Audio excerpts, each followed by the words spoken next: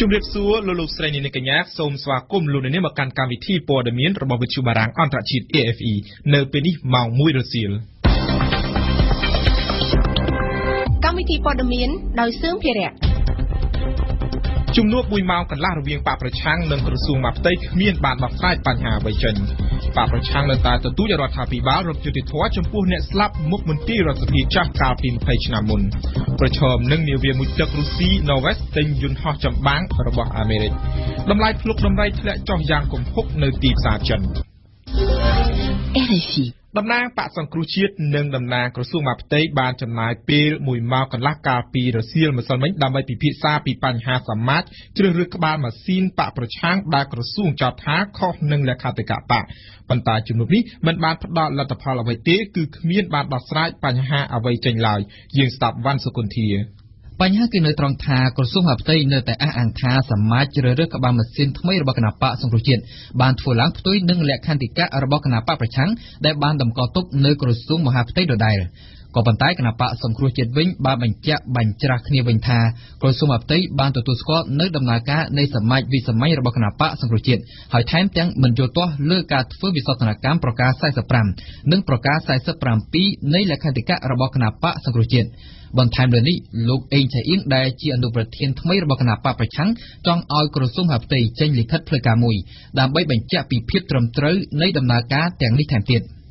សូមជម្រាបជូនថាមុនកិច្ចប្រជុំនេះកើតឡើងក្រសួងមហាផ្ទៃបានរកឃើញថាគណៈបកសង្គ្រោះជាតិបានធ្វើសមាជវិសាមញ្ញដើម្បីជ្រើសរើសក្បាលម៉ាស៊ីនគណៈបកកាលពីថ្ងៃទី2មីនាកន្លងទៅគឺខុសនឹងលក្ខន្តិកៈរបស់ខ្លួនឯងត្រង់ប្រការ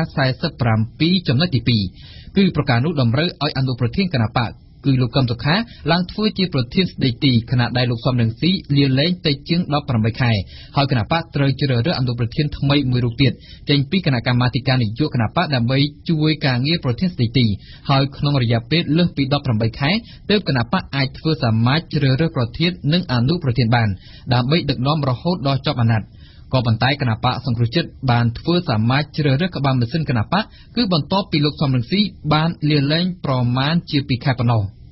នៅត្រង់ចំណុចនេះក្រសួងមហាផ្ទៃបានសង្កត់ធ្ងន់ថាគណៈបព្វប្រឆាំងត្រូវធ្វើសំណើមកកាន់ក្រសួងមហាផ្ទៃឲ្យទទួលស្គាល់នៅលក្ខន្តិកៈថ្មីសិនទើបគណៈបកអាចជ្រើសរើសក្បាលម៉ាស៊ីនថ្មីដែលមានប្រធានមួយរូបនិងអនុប្រធាន3រូបបានដែលនេះគឺត្រឹមត្រូវតាមលក្ខន្តិកៈ លោកប្រាក់សំអឿនដែលជាអគ្គនាយកអគ្គនាយកដ្ឋានរដ្ឋបាលនៃក្រសួងមហាផ្ទៃបានតម្រូវឲ្យគណៈបកសង្គ្រោះជាតិកែតម្រូវឲ្យស្របតាមលក្ខន្តិកៈដែលបានតម្កល់ទុកនៅក្រសួងមហាផ្ទៃបើមិនដូច្នេះទេក្រសួងមហាផ្ទៃនឹងមានវិធានការផ្សេងទៀតតែលោកមិនបានបង្ហាញថាជាវិធានការបែបណាឡើយ។ សម្រាប់គណៈបកសង្គ្រោះជាតិលោកអេឆេអៀងបានគូបញ្ជាក់ថារឿងតែនេះគឺជារឿងផ្ទៃក្នុងរបស់គណៈបកហើយក្រសួងអផ្ទៃបានលុកដៃចូលមកជ្រៅដូច្នេះគណៈបកសង្គ្រោះជាតិនឹងពិនិត្យពិភាក្សាគ្នាបន្ថែមទៀតដើម្បីដោះស្រាយបញ្ហានេះក៏ប៉ុន្តែលោកអេងឆៀងបានអះអាងហើយថាបើទោះបីជាលក្ខន្តិកៈចាស់ក្តីឬក៏ថ្មីក្តីក៏លោកកំសុខានៅតែជាប្រធានគណៈបកសង្គ្រោះជាតិដដែល គួរជំរាបជូនថានៅរសៀលនេះក្រសួងមហាផ្ទៃនឹងធ្វើសន្និសីទកសែតមួយពាក់ព័ន្ធនឹងសមាជវិសាមញ្ញរបស់គណៈបកសង្គ្រោះជាតិនៅវេលាម៉ោង4រសៀលនៅទីស្តីការក្រសួងមហាផ្ទៃ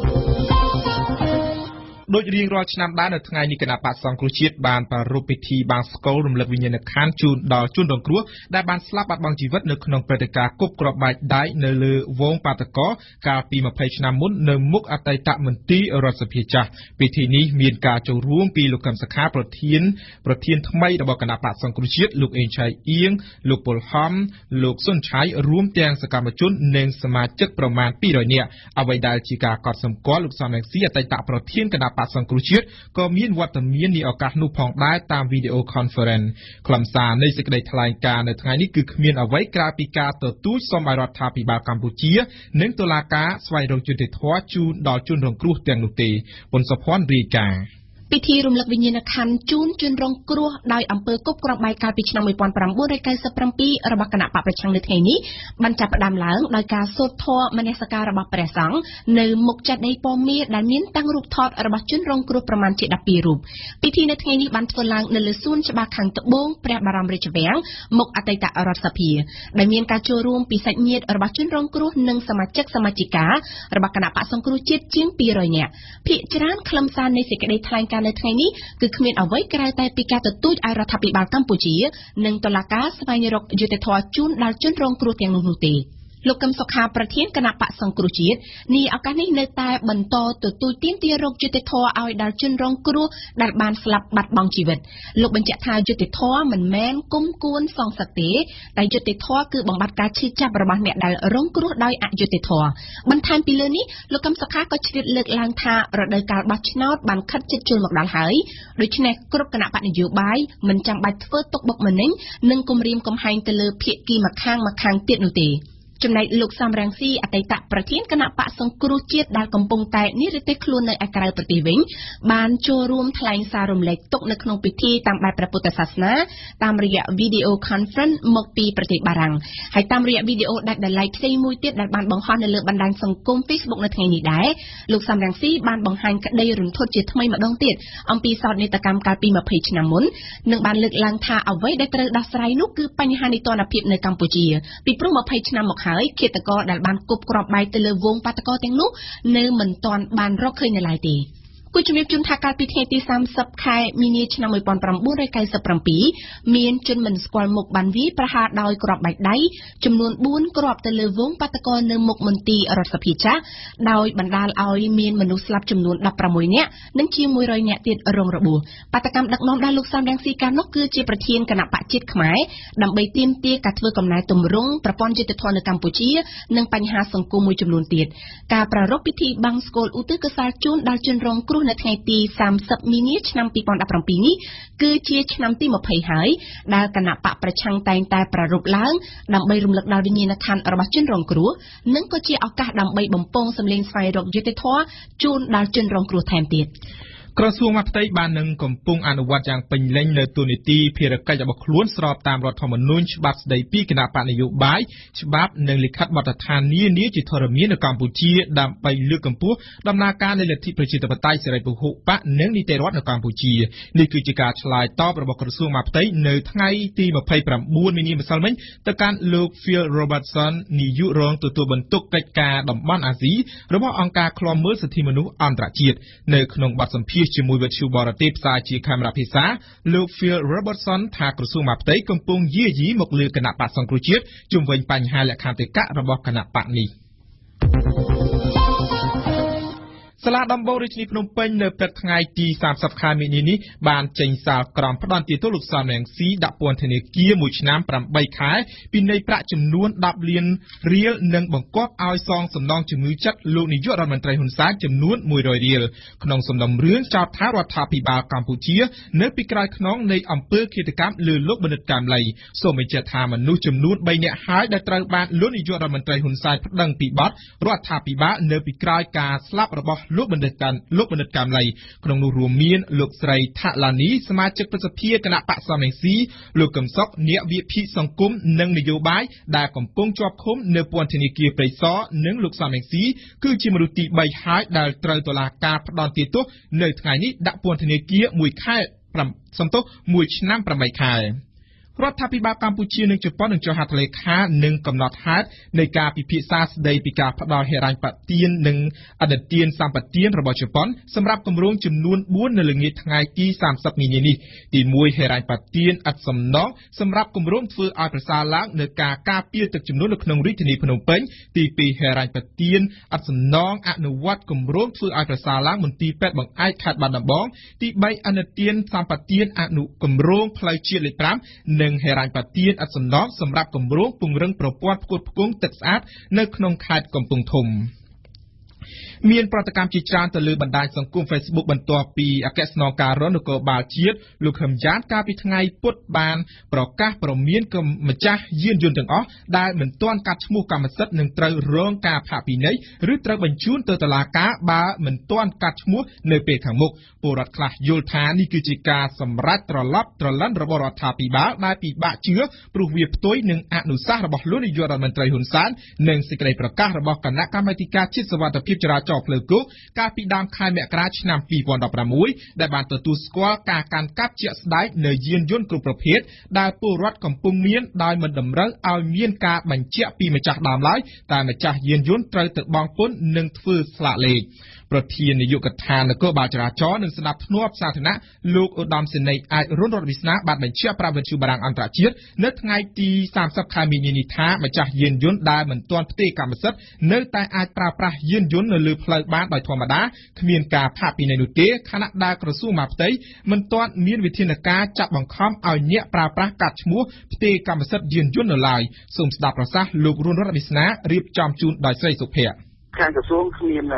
ផែនការអីហ្នឹងទេគ្រាន់ថាជាទូទៅអ្នកដែលទិញខ្លួនឯងផ្ទាល់ហ្នឹងគាត់គិតថាហ្នឹងគាត់ឆ្លាញ់របស់ខ្លួនគាត់ជាកម្មសិទ្ធិអាហ្នឹងគាត់ទៅកាត់ទៅបើមិនទៅគាត់មិនកាត់ទេអាហ្នឹងគាត់ប្រើប្រាស់ទៅអត់មានអីទេកុំឲ្យតែចាក់គាត់នៅខ្លួនអចរាចរណ៍អ្នកម្ចាស់មុនគាត់ត្រូវតែមកប្រាប់ទៅវិញថាគាត់បានរូបបានអូឬថាប៉ុណ្្នឹងឯងចឹងទេគាត់អាចជីបានធម្មតាហ្នឹងមិនមានអីដែលមានការផាត់នៃនេះទេសំខាន់កុំឲ្យតែមានបញ្ហាតាក់ទាឬខ្វះផ្សេងផ្សេងអញ្ចឹងគេឆែកទៅរកឃើញដោយសារប្រហែលថ្ងៃហ្នឹងក្នុងខែ3ហ្នឹងសមត្ថកិច្ចធ្វើការ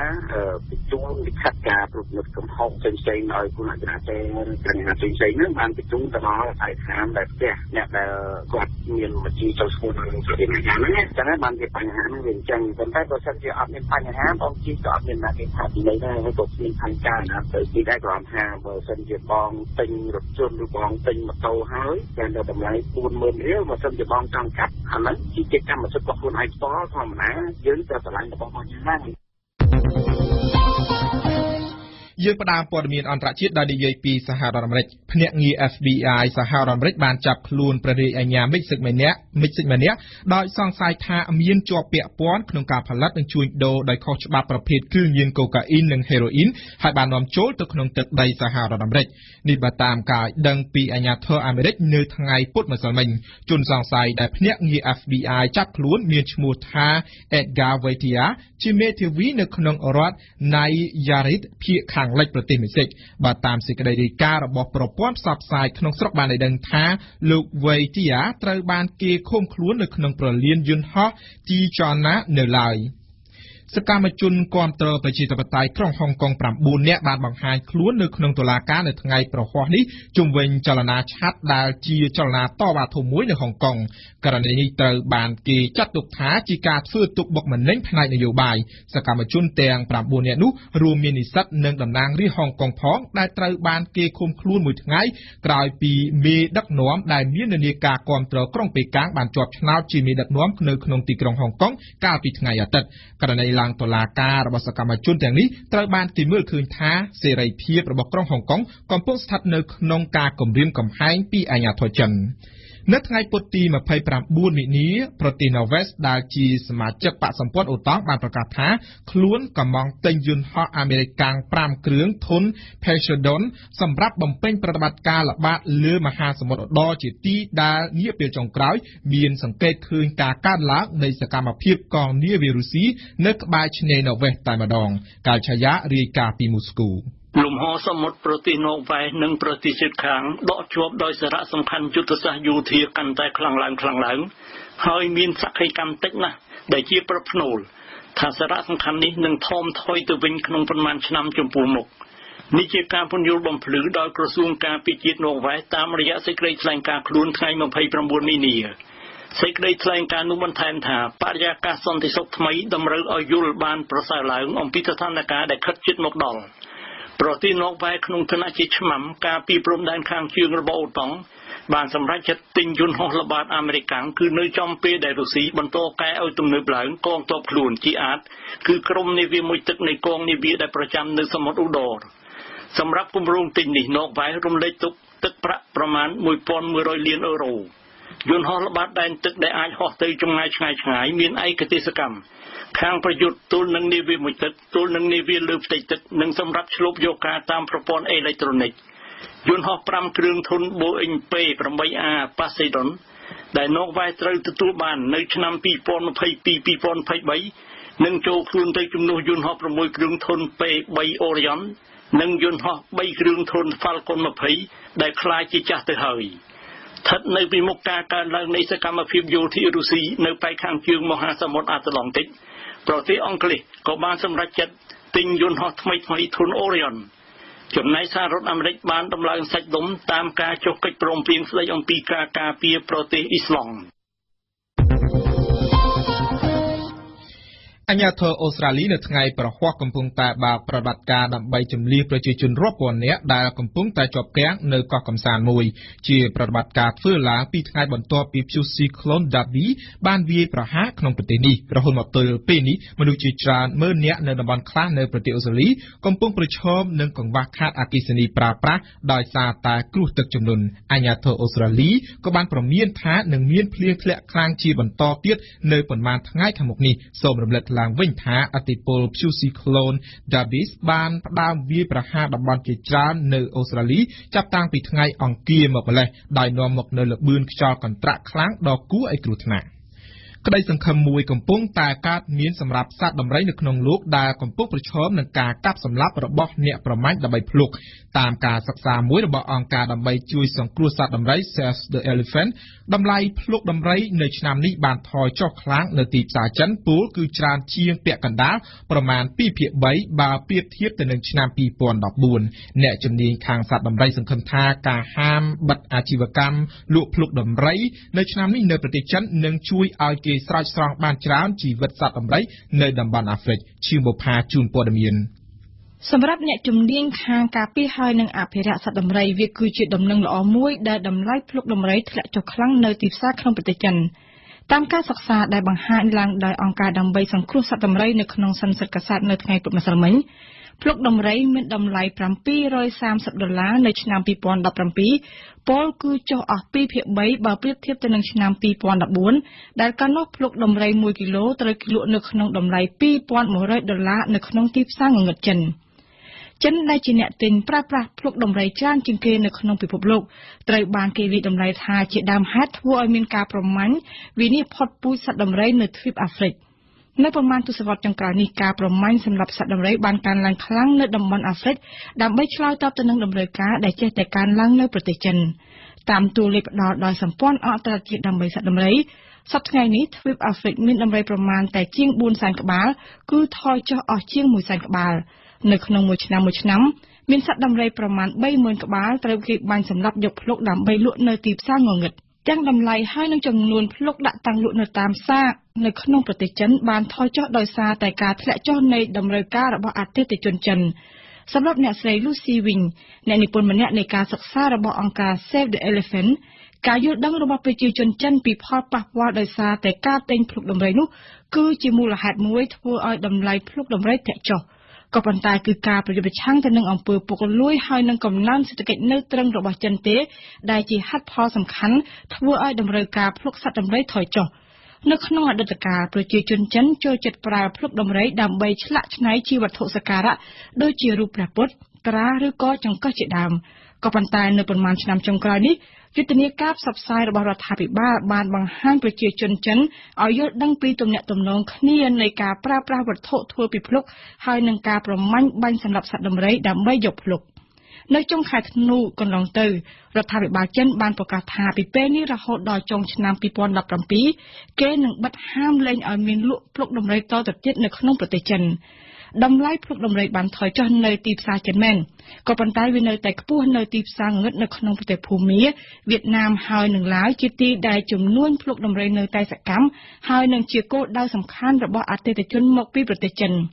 ផ្លូវដើរទៅរកការលុបបំបាត់ចោលនៅការសម្លាប់សត្វដំរីយកភ្លុកនៅវែងតទៅទៀតក៏ប៉ុន្តែអ្នកជំនាញហើយនឹងអភិរក្សសត្វដំរី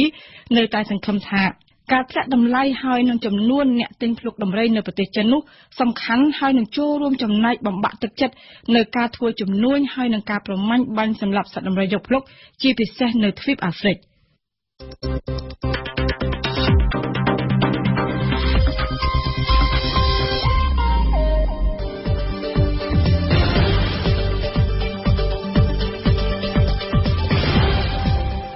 វិទ្យុបារាំង RFI ភ្នំពេញ92 MHz សៀមរាប92 MHz បាត់ដំបងក្រុងព្រះសីហនុនិងកំពង់ចាម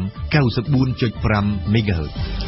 លោកអ្នកនាងកំពុងស្ដាប់កម្មវិធីព័ត៌មានរបស់វិទ្យុបារាំងអន្តរជាតិ AFE ជាបន្តទៅទៀតនេះលោកអ្នកនាងបានស្ដាប់ដំបូងគឺជានីតិព្រឹត្តិការណ៍កម្ពុជាប្រចាំថ្ងៃដែលញឹមសិផលសូមលើកឡើងអំពីតើអវត្តមានរបស់លោក Bid Richner ជាទីបញ្ចប់នៃមន្ទីរពេទ្យគុណភបុផាឬ បន្ទាប់មកគឺជានីតិទស្សនៈព្រឹត្តិការណ៍កម្ពុជារបស់ស្រីសុភ័ក្រដែលនឹងវិភាគអំពីបើខ្មែររួមរួមគ្នានឹងធ្វើឲ្យអសរសាស្ត្រជាតិខ្លាំងក្រោយមកគឺជានីតិទីព្រឹត្តិការណ៍ពិភពលោករបស់អៀងសុកមិញនីតិទស្សនៈសារព័ត៌មាននៅថ្ងៃនេះរៀបចំជូនដោយវ៉ាន់សុគន្ធានិងចុងក្រោយបង្អស់លោកដឹកនាងនឹងបានស្ដាប់នីតិខ្ញុំនិយាយពីភាសារៀបចំជូនដោយ Hel សម្បត្តិព្រឹត្តិការណ៍កម្ពុជាប្រចាំថ្ងៃ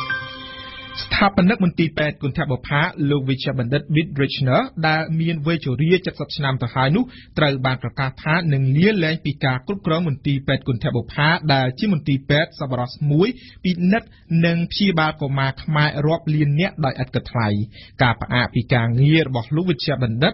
ដោយសារតែគាត់មានបញ្ហាសុខភាពធ្ងន់ធ្ងរជំវិញអវត្តមានរបស់ស្ថាបនិកមន្ទីរពេទ្យគុណធបុផាដែលធ្លាប់ជួយកុមារខ្មែរអស់រយៈពេលជាង2ទសវត្សរ៍មកហើយនោះមានការព្រួយបារម្ភជាទូទៅពីអនាគតរបស់មន្ទីរពេទ្យដ៏ល្បីល្បាញមួយនេះសូមស្ដាប់សេចក្តីរាយការណ៍របស់ញៀនសុផលជាការពិតលោកវិជ្ជបណ្ឌិត B.R. Richner ត្រូវគេស្គាល់ថាជាអ្នកដែលមានសមត្ថភាពខ្ពស់ក្នុងការស្វែងរកថវិកាសប្បុរសរាប់លានដុល្លារក្នុងមួយឆ្នាំមួយឆ្នាំដើម្បីជួយឲ្យមន្ទីរពេទ្យគុណធបុផាទាំង5នៅក្នុងប្រទេសកម្ពុជាបន្តនិរន្តរភាពមកទល់បច្ចុប្បន្ននេះ ពេលដែលមិនមានលោកតើនឹងមានអ្វីកើតឡើងនោះនៅមិនទាន់មានការសន្និដ្ឋានណាមួយច្បាស់លាស់នៅឡើយទេ តែមានការបារម្ភជាច្រើនលោកបណ្ឌិតឈុតបន្ថងមន្ត្រីស្រាវជ្រាវបញ្ហាសង្គមនៃរាជបណ្ឌិតសភាកម្ពុជា ប្រសិនបើ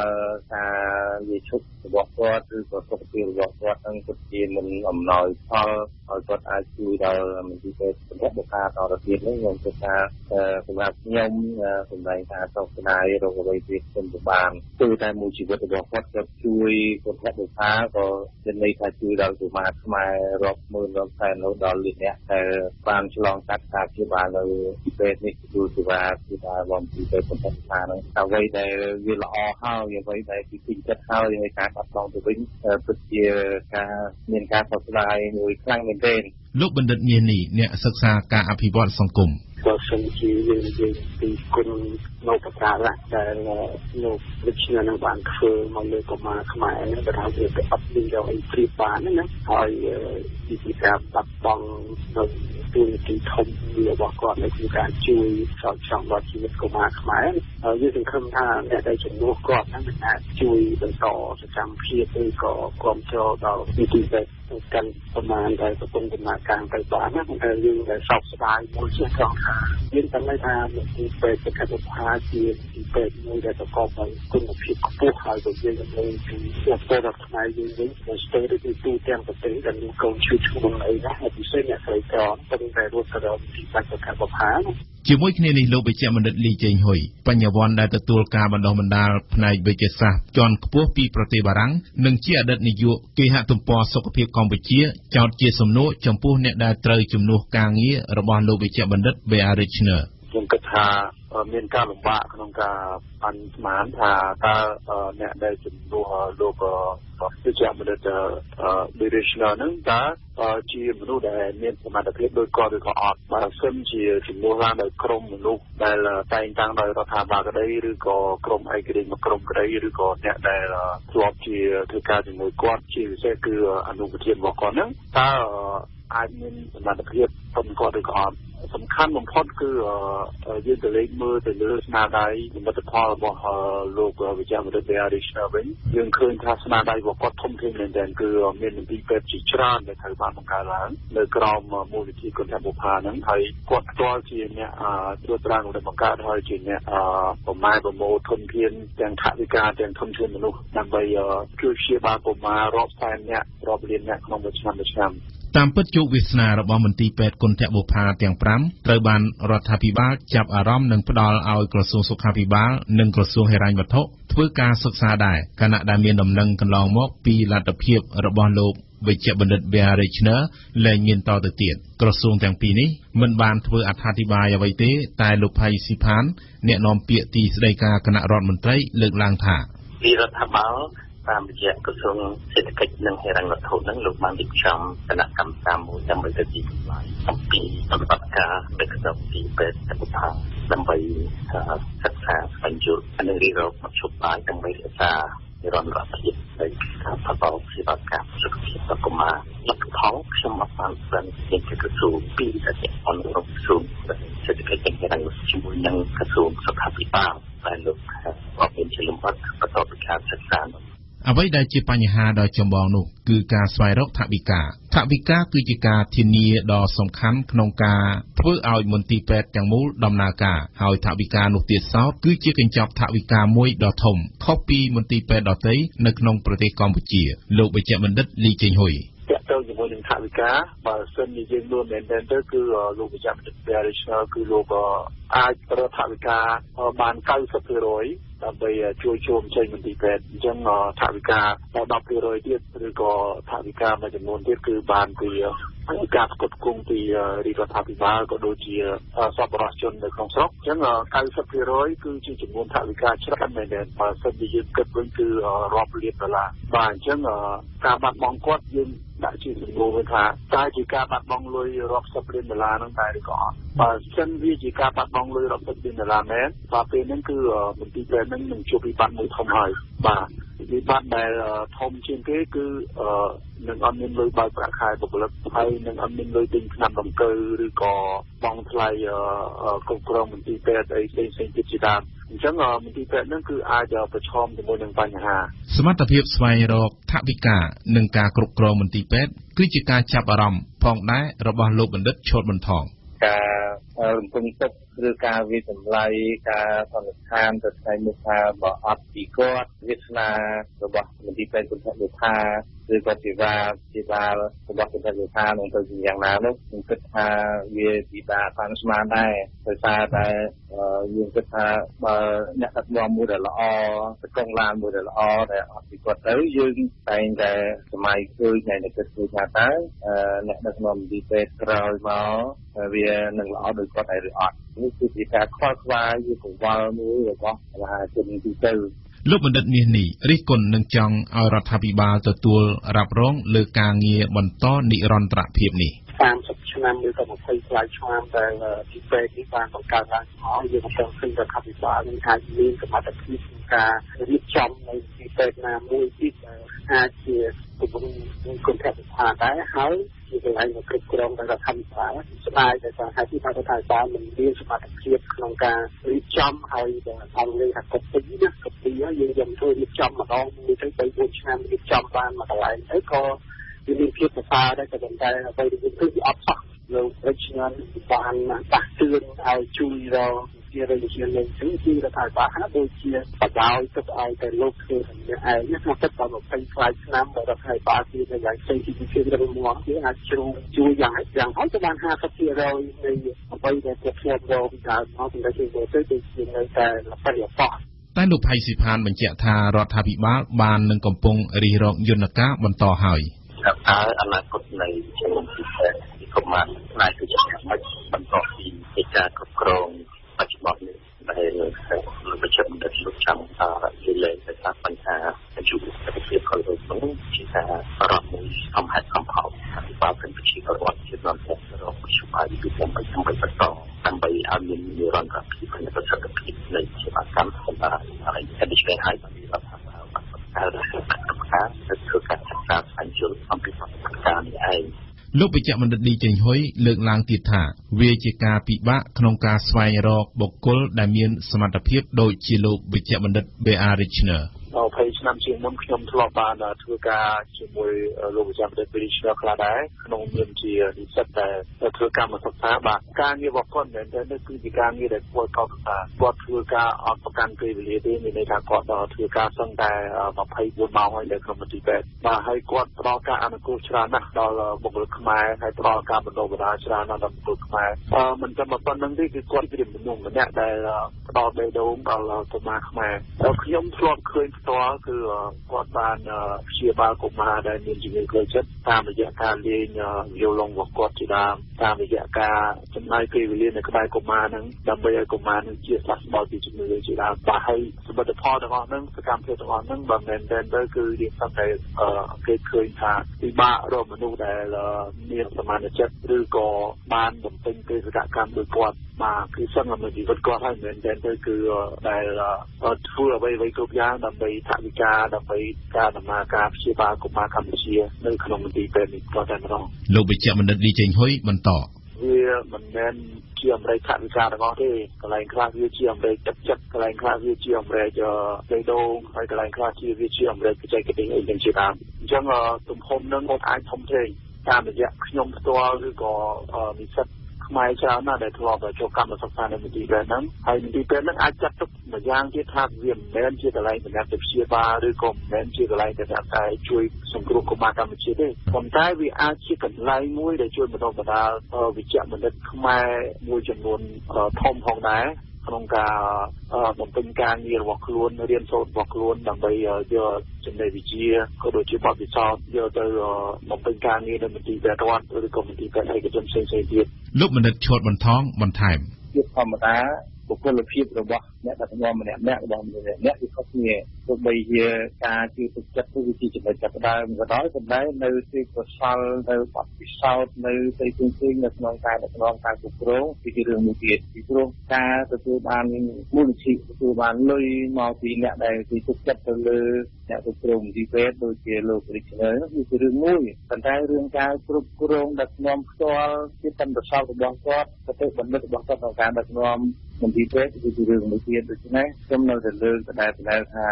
យើងខ្វល់ពីបញ្ហាទាំងអស់នេះការនិយាយបែបនេះយើងមិនចង់និយាយថាអត់មន្ទីរពេទ្យគុណធម៌ដូចថាមួយ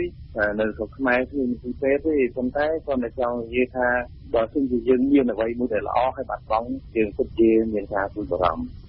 កម្មវិធីនេះសហការឧបត្ថម្ភដោយ Sinbinju ជាក្រុមហ៊ុនផ្ដាច់មុខកាហ្វេពីប៉ៃលិននិងមណ្ឌលគិរីដែលមានតែមួយគត់នៅកម្ពុជាកាហ្វេ Funon សញ្ញាមេដៃកាហ្វេធម្មជាតិសុទ្ធឈ្ងុយឆ្ងាញ់ផលិតដោយក្រុមយុវជនយុវនារីខ្មែរសាកលវិទ្យាល័យឯកទេសនៃកម្ពុជា CUS សិក្សាដើម្បីបុគ្គលិកលក្ខណៈសម្បត្តិល្អប្រពៃសិក្សានៅ CUS ម៉ាស៊ីនទឹកក្តៅម៉ារីណៃជាផលិតផលលំដាប់ថ្នាក់លេខ1របស់ប្រទេសជប៉ុន មានគ្រប់ប្រភេទតាមតម្រូវការរបស់លោកអ្នកសហគមន៍សរីរាង្គខ្មែរលោកបន្លែផ្លែឈើស្រស់ៗដែលគ្មានជាតិគីមីពុលតាក់ទងទូរស័ព្ទលេខ077 299 953និង012 310 234ក្រុមហ៊ុន Unique Wrapping ជំនាញខាងបិទការពារថ្នាំយានយន្តបិទកញ្ចក់កាត់បន្ថយកម្ដៅនៅក្នុងរថយន្តនិងនៅក្នុងអគារតាក់ទងតាមទូរស័ព្ទលេខ010 744 401ឬ085 744 401ទស្សនៈព្រឹត្តិការណ៍កម្ពុជា ក្នុងន័យលើកកម្ពស់ការប្រើប្រាស់អក្សរសាស្ត្រខ្មែរឲ្យបានទូលាយនិងត្រឹមត្រូវមានគំរូនៃការបដិញ្ញាចិត្តស្ដែងតាមសកម្មភាពជាច្រើនទម្រង់ចំពោះស្ថាប័នរដ្ឋការកែប្រែពង្រឹងគុណភាពសិក្សាទាំងថ្នាក់កុមារតូចបឋមសិក្សាមធ្យមសិក្សាឧត្តមសិក្សាបណ្ដុះបណ្ដាលនិងវិក្រិតការអប់រំក្រៅប្រព័ន្ធគឺជាកត្តាជំរុញឲ្យមានការប្រើប្រាស់អក្សរសាស្ត្របានត្រឹមត្រូវនិងផ្លូវការមួយប៉ុន្តែសម្រាប់ពលរដ្ឋស៊ីវិលនៅពេញបណ្ដាញសង្គម Facebook បានក្លាយជាទីលានសេរីភាពមួយមានអ្នកប្រើប្រាស់កាន់តែច្រើនងាកមកគ្រប់គ្រងគ្នាបើកយុទ្ធនាការលើកស្ទួយអក្សរសាស្ត្រខ្មែរបន្តិចម្ដងបន្តិចម្ដងពួកគេជឿជាក់ថាការប្រើប្រាស់អក្សរសាស្ត្រខ្មែរនឹងមានភាពប្រសើរជាងមុនស្រីសុភ័ក្ររាយការណ៍ថ្មីថ្មីនេះពលរដ្ឋខ្មែរដែលនិយមប្រើប្រាស់បណ្ដាញសង្គម Facebook កាន់តែច្រើនឡើងច្រើនឡើងបានភ្ញាក់រលឹកគៀងគ្នាបើកយុទ្ធនាការតាមអនឡាញលើកស្ទួយតម្លៃអក្សរសាស្ត្រនិងភាសាខ្មែរ ផ្ដើមចេញពីលោកអៀងសុផល្លែតអនុរដ្ឋលេខាធិការក្រសួងបរិស្ថាន និងជាអ្នកនាំពាក្យក្រសួងបរិស្ថានតាំងពីខែតុលាឆ្នាំ2016មកនិងជាទៀងទាត់មកទល់នឹងពេលនេះលោកតែងបង្ហោះផ្សាយតាម Facebook ផ្ទាល់ខ្លួន នៅចលនាមួយថ្ងៃរៀន3ពាក្យដើម្បីអក្សរសាស្ត្រខ្មែរយើងដែលក្នុងនោះពាក្យខ្មែរចំនួន3មានទាំងពន្យល់អត្ថន័យផងត្រូវបានលោកផ្សព្វផ្សាយលើបណ្ដាញសង្គមហើយត្រូវបានអ្នកប្រើប្រាស់ Facebook ផ្សេងទៀតចែកចាយបន្តគ្នា។ សារលើកកម្ពស់អក្សរសាស្ត្រជាតិលើបណ្ដាញសង្គមរបស់អ្នកប្រើប្រាស់ Facebook ផ្សេងទៀតក៏មានដែររាប់បញ្ចូលយើងជាជនជាតិខ្មែរយើងឲ្យតម្លៃអក្សរសាស្ត្រខ្មែរលើកដំកើងភាសាខ្មែរដោយសរសេរជាអក្សរខ្មែរឬបានទេបើនាំគ្នាសរសេរអក្សរខ្មែរតាមបណ្ដាញ Facebook ជាដើមតើហេតុអ្វីបានជាមានចលនានេះនៅលើបណ្ដាញសង្គម Facebook ទៅវិញបើយើងពិនិត្យដោយយកចិត្តទុកដាក់បន្តិចអស់រយៈពេលជាច្រើនឆ្នាំមកហើយ ការប្រើប្រាស់អក្សរសាស្ត្រខ្មែរតាមទំព័រអត្ថបទកាសែតគេហទំព័រកញ្ចក់ទូរទស្សន៍ស្លាកយីហោពាណិជ្ជកម្មជាដើម ហាក់មិនសូវត្រឹមត្រូវតាមក្បួនខ្នាតវិជ្ជករខ្មែរទេ ការនិយាយនិងសរសេរខុសវិជ្ជករខ្មែរទាំងមិនដឹងខ្លួនខុសឬទម្លាប់ប្រើទាំងខុសក្នុងសហគមន៍បានបន្តចម្លងរីករាលដាលឥតឈប់ឈរក៏បង្កឲ្យមានការទើសចិត្តជាខ្លាំងចំពោះពលរដ្ឋដែលស្រឡាញ់ភាសាជាតិហើយនៅពេលដែលបណ្ដាញសង្គម Facebook ផ្ដើមមានប្រជាប្រិយភាពខ្លាំងនៅកម្អំឡុងដើមឆ្នាំ2013ទម្លាប់ប្រើប្រាស់ភាសាបែបសហគមន៍ដែលគ្មានក្បួនវិជ្ជករខ្មែរឬសរសេរអក្សរអង់គ្លេសប្រកបសំនៀងខ្មែរលើបណ្ដាញសង្គម Facebook កាន់តែច្រើនបែរជាคล้ายជាកត្តាជំរុញចិត្តឲ្យពលរដ្ឋដែលមានសមានចិត្តខ្មែរជាច្រើនមានគំនិតផ្ដួចផ្ដើមបើកយុទ្ធនាការតាមអនឡាញលើកស្ទួយតម្លៃអក្សរសាស្ត្រខ្មែរទៅវិញ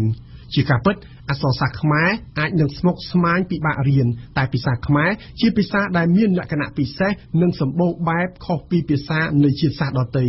ជនជាអ្នកនឹងស្រៈខ្មែរមានចំនួនច្រើនជាងភាសាដទៃទៀត អក្សរឬអក្សរខ្មែរចែកជា3ក្រុមគឺភ្ជញ្ជនៈមាន33តួស្រៈពេញតួមាន12តួនិងស្រៈនិស្ស័យមាន27តួភាសាខ្មែរត្រូវសរសេរដោយមានតួខ្លួនដៃមានជើងនិងសក់ដូចជាតួខ្លួនរបស់មនុស្សដែរនិងមានលក្ខណៈជាធម្មជាតិដែលខ្មែរសម័យបុរាណបានចាត់ទុកតួអក្សរនីមួយៗជាអង្គអក្សរមិនមែនជាតួអក្សរនោះទេជាច្រើនឆ្នាំមកនេះ កង្វះខាតធនធានមនុស្សការជំរុញលើកទឹកចិត្តឲ្យប្រើប្រាស់អក្សរសាស្ត្រតិចតួចទម្លាប់ប្រើប្រាស់ភាសាបរទេសច្រើនជាងភាសាជាតិនិងភាពចម្រុងចម្រាស់នៃការប្រើប្រាស់សំណេរជាងគំរួតនិងព្យាង្គរាយសុទ្ធតែជាដើមចមដែលធ្វើឲ្យពលរដ្ឋខ្មែរកាន់តែច្រើនបាត់បង់មោទនភាពអក្សរសាស្ត្រជាតិនិងធ្វើឲ្យអក្សរសាស្ត្រខ្មែរទន់ខ្សោយគឺក្រោយភ្លើងសង្គ្រាមប្រល័យពូជសាសន៍ពលរដ្ឋខ្មែរដែលរស់រានមានជីវិតភាគច្រើនសុទ្ធសឹងជាអនក្ខរជននិងខ្វះមោទកភាពលើអក្សរសាស្ត្រខ្មែរ ហើយបទពិសោធន៍នៃទម្លាប់មិនខ្វល់នឹងអក្សរសាស្ត្រជាតិក៏ជាហេតុផលមួយនៃការប្រើប្រាស់អក្សរសាស្ត្រខ្មែរខុសក្បួនខ្នាតដែរព្រោះឪពុកម្ដាយសម័យថ្មីផ្ដោតតម្លៃលើភាសាបរទេសជាជាងអក្សរសាស្ត្រខ្មែរទាំងការប្រើប្រាស់នៅក្នុងផ្ទះនិងសាលារៀនគេត្រូវចាំថាអក្សរខ្មែរបើសរសេរខុសវិជ្ជករតែបន្តិចនោះអត្ថន័យរបស់ពាក្យនឹងប្រែប្រួលខុសគ្នាដូចមេឃនឹងដីដូចជាពាក្យក្តីសរសេរបាត់ស្រៈអីជាដើម ដូច្នេះអំណេះតទៅពលរដ្ឋខ្មែរគួរទម្លាប់ប្រើប្រាស់អក្សរសាស្ត្រខ្មែរតាំងពីកុមារភាពទាំងនៅផ្ទះនិងនៅសាលារៀនគណៈកម្មាធិការជាតិអក្សរសាស្ត្រខ្មែរក៏គួរតែបង្កើតនិងទទួលស្គាល់ពាក្យថ្មីក្នុងការប្រើប្រាស់ជាផ្លូវការផងដែរក្នុងន័យនេះគឺពាក្យដែលប្រើសឹងគ្រប់គ្នាហើយអាចคล้ายទៅជាពាក្យថ្មីគួរតែបញ្ចូលបន្ថែមក្នុងវចនានុក្រមថ្មីហើយគួរធ្វើបច្ចុប្បន្នភាពអក្សរសាស្ត្ររៀងរាល់ឆ្នាំឬយ៉ាងហោចណាស់2ឆ្នាំម្ដងតាមពិតទៅគំរូនៃការខិតខំ ើធ្វើឲ្យប្រសើរឡើងនៃការប្រើប្រាស់អក្សរសាស្ត្រខ្មែរមានយូរឆ្នាំមកហើយនិងមានទម្រង់ជាច្រើន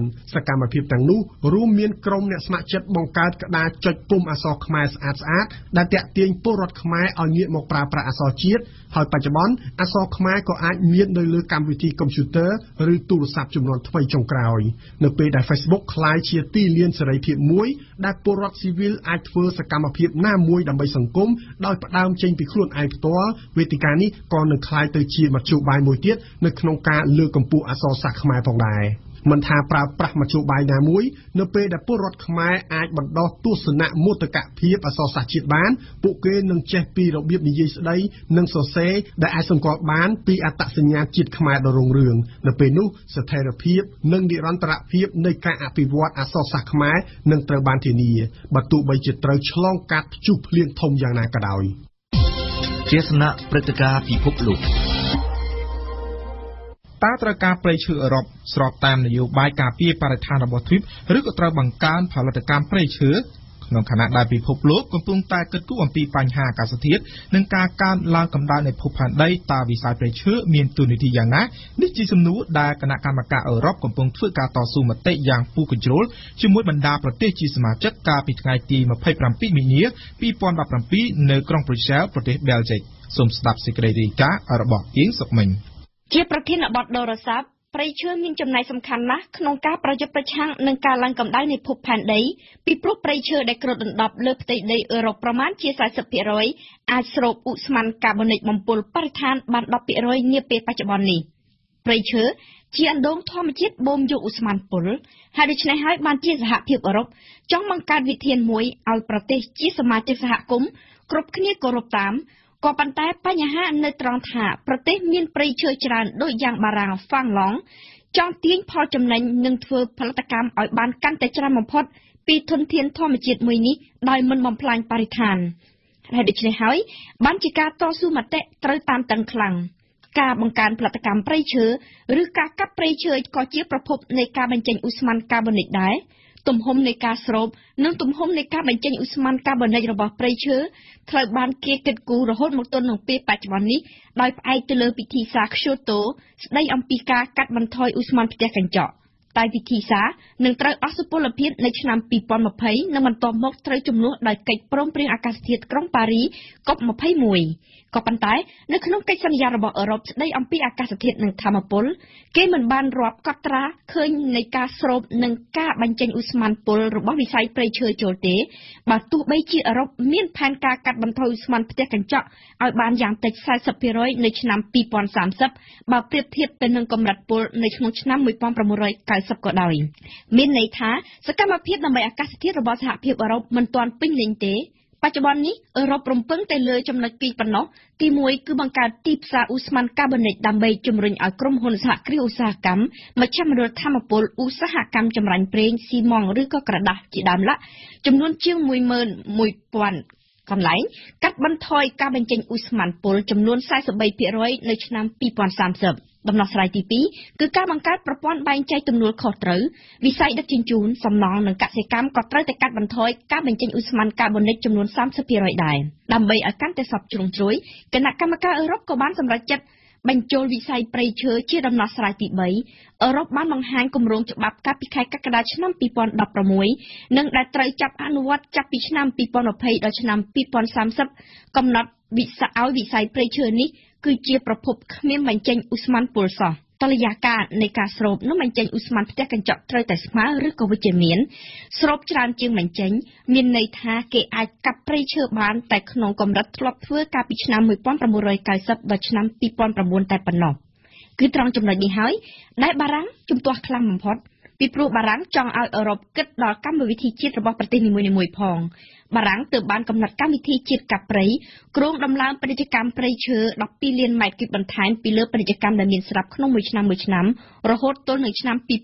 2026ដោយត្រូវកាប់ព្រៃឈើប្រមាណជា65%នៃការដាំដុះបន្តបន្ថែមពលគឺបើមានការលូតលាស់ព្រៃឈើធម្មជាតិ100ដើមគេត្រូវកាប់ដើមចាស់65ទល់នឹង50នាពេលបច្ចុប្បន្ននេះ ប្រទេសអូទ្រីសនិងពិសេសហ្វាំងឡង់ប្រទេសជាប់លំដាប់ទី2ខាងមានព្រៃឈើច្រើននៅអឺរ៉ុបក៏ចង់បង្កើនការកាប់ព្រៃឈើនេះដែរសម្រាប់ក្រុមប្រទេសទាំងអស់នេះហេតុផលនៃការបង្កើនការកាប់ព្រៃឈើមិនមែនត្រឹមតែជាការផ្ដល់តម្លៃដល់ធនធានធម្មជាតិព្រៃឈើដែលពួកគេមានឡើយតែក៏អាចជាចម្លើយស្របទៅនឹងទិសដៅនៃកម្មវត្ថុធ្វើអន្តរការធម្មពលឆ្ពោះទៅរកធម្មពលមិនចេះរីងស្ងួន ចំពោះប្រទេសបារាំងជាឧទាហរណ៍20%នៃព្រៃឈើកាប់ត្រូវយកទៅប្រើប្រាស់ក្នុងធម្មពលសម្រាប់ដុតជាង50%คล้ายជាឈើមានតម្លៃហើយសល់ពីនោះនឹងคล้ายទៅជាឈើបំផ្លែងកិនធ្វើជាក្រដាសជាក្តារតុកទូលាក់នឹងលាក់បើជាការកែច្នៃឈើប្រើមិនថ្មីទេតែការយកឈើមកធ្វើជាគ្រឿងចំហេះសម្រាប់ដុតនោះវាបានបង្កឲ្យមានផ្សែងពុលបញ្ចេញដោយផ្ទាល់ពេញបរិយាកាស ហេតុដូច្នេះហើយបានជាអឺរ៉ុបត្រូវតែព្រួយបារម្ភនឹងការកាប់ព្រៃឈើពីព្រោះការប្រើឈើជាធម្មពលមិនស៊ីចង្វាក់សោះទៅនឹងយុទ្ធនាការការពារអាកាសធាតុក្រមសហគមន៍អង្គការក្រៅរដ្ឋាភិបាលផ្សេងផ្សេងមិនញញើតនឹងធ្វើការរិះគន់យ៉ាងចំហនយោបាយកាប់ព្រៃឈើរបស់បារាំងដែលមាននាមជាប្រទេសនាំមុខគេបង្កើតកិច្ចព្រមព្រៀងអាកាសធាតុឡើយពីព្រោះនយោបាយនោះនិងនយោបាយអន្តរកាលធម្មពលដោយពិតទៅគឺជាការបង្រួមសកម្មភាពដើម្បីអាកាសធាតុទៅវិញទេ ទេសនាសារព័ត៌មាន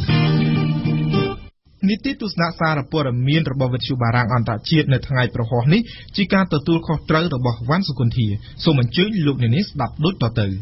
ជំនួបពិភាក្សាគ្នារវាងតំណាងគណៈបកសង្គ្រោះជាតិនិងតំណាងក្រសួងមហាផ្ទៃអំពីសម័យវិសាមញ្ញរបស់គណៈបកសង្គ្រោះជាតិកាលពីម្សិលមិញគឺជាប្រធានរឿងធំរបស់កាសែតនៅស្រុកខ្មែរនៅថ្ងៃនេះ កាសែតភ្នំពេញប៉ុស្តិ៍បានដាក់ចំណងជើងរឿងនេះថាក្រសួងមហាផ្ទៃមិនទទួលស្គាល់មេដឹកនាំថ្មីរបស់គណៈបកប្រឆាំងហើយបានជំរុញឲ្យធ្វើការកែតម្រូវឡើងវិញនៅខាងលើចំណងជើងកាសែតបានរំលេចរូបភាពលោកប្រាក់សំអឿនអគ្គនាយកនៃអគ្គនាយកដ្ឋានរដ្ឋបាលនៃក្រសួងមហាផ្ទៃនិងលោកអេងឆៃអៀងអនុប្រធានថ្មីរបស់គណៈបកសង្គ្រោះជាតិកំពុងផ្ដល់បទសម្ភាសន៍ដល់អ្នកកាសែត ភ្នំពេញប៉ុស្តិ៍បានរាយការណ៍ថាក្រសួងមហាផ្ទៃមិនទទួលស្គាល់ថ្នាក់ដឹកនាំថ្មីរបស់គណៈបកប្រឆាំងដែលកើតចេញពីការធ្វើសម័យវិសម័យកាលពីថ្ងៃទី2មីនានោះទេហើយបានជំរុញឲ្យគណៈបកនេះធ្វើការកែតម្រូវឲ្យស្របទៅតាមលក្ខន្តិកៈចាស់របស់ខ្លួននិងត្រូវបដូរពាក្យស្លោកដូរមេឃុំបំរើបកដាក់មេឃុំបំរើរាជចេញ បើតាមភ្នំពេញប៉ុស្តិ៍ក្រសួងបានព្រមានថាបើមិនធ្វើដូច្នេះទេក្រសួងនឹងមានវិធានការផ្សេងទៀតប៉ុន្តែមិនបានបញ្ជាក់ពីការឈានទៅដល់ការរំលាយគណៈបកប្រឆាំងដែលជាគូប្រកួតប្រជែងដ៏ស្រួចស្រាវជាមួយគណៈបកកណ្ដាលអំណាចមួយនេះឡើយកាសែតកម្ពុជាថ្មីវិញបានដាក់ចំណងជើងរឿងនេះនៅលើទំព័រមុខរបស់ខ្លួនដែរថាជំនួបបានបង្ហាញថាការជ្រើសតាំងក្បាលម៉ាស៊ីនថ្នាក់ដឹកនាំរបស់គណៈបកសង្គ្រោះជាតិខុសលក្ខន្តិកៈ រីឯកាសែតរស្មីកម្ពុជាវិញបានដាក់ចំណងជើងរឿងនេះថាសមាជវិសាមញ្ញផ្ទុយលក្ខន្តិកៈធ្វើឲ្យជោគវាសនាសង្គ្រោះជាតិមិនតន់ប្រកប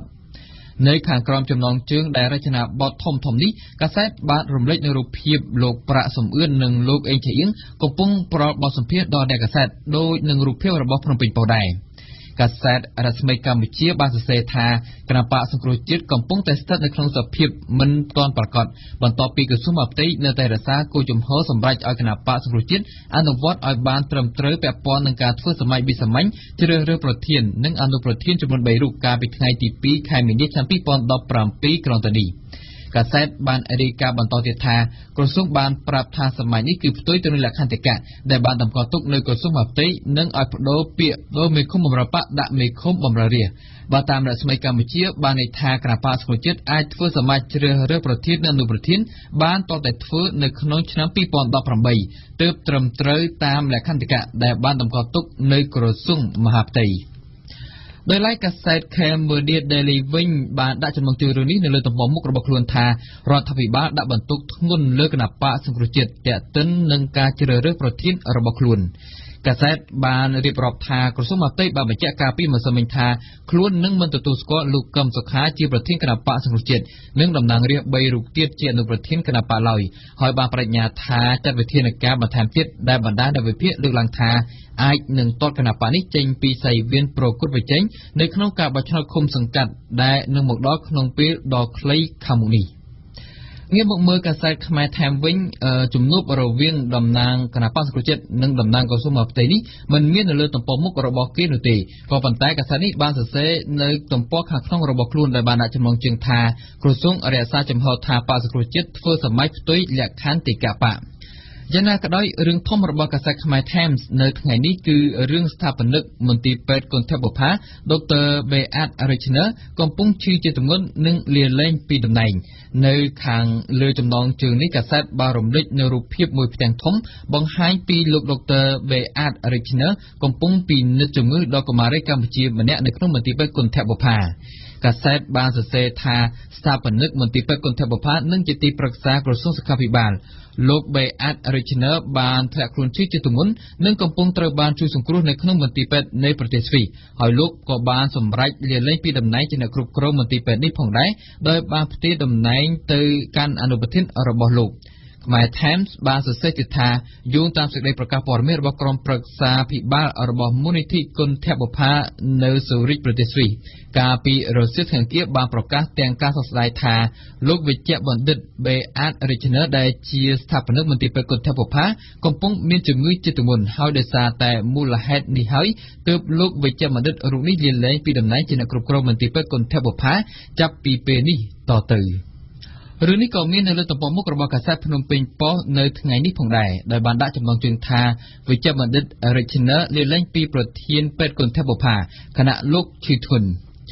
ក្រៅពីរឿងនេះកាសែតភ្នំពេញប៉ុស្តិ៍ក៏បានចាប់អារម្មណ៍រឿងថ្ងៃនេះខួប20ឆ្នាំការគប់ក្របបែកលើហ្វូងបាតកម្មកាសែតបានសរសេរថាថ្ងៃនេះគឺជាថ្ងៃគម្រប់ខួប20ឆ្នាំនៃថ្ងៃសោកនាដកម្មនៃការគប់ក្របបែកទៅលើហ្វូងបាតកម្មដោយអហិង្សានៅមុខរដ្ឋសភាចាស់លើសួនច្បារមកវត្តបទុមវតីដើម្បីទាមទារដល់តុលាការឲ្យមានភាពឯករាជ្យ សោកនាដកម្មនេះក៏ដូចជាអំពើហិង្សានយោបាយភាគច្រើនដែលបានកើតឡើងនៅក្នុងទសវត្សរ៍ឆ្នាំ